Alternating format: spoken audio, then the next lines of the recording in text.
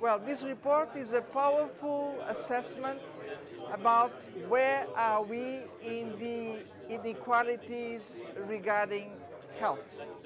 And the report is showing clearly, yes, there are differences in our chances to have access to health care because uh, we have underpinning social inequalities which are hindering this access.